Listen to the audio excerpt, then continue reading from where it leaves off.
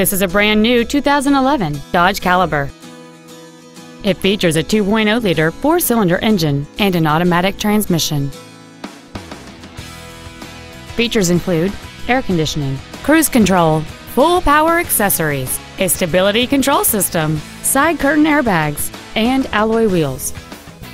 Please call today to reserve this vehicle for a test drive.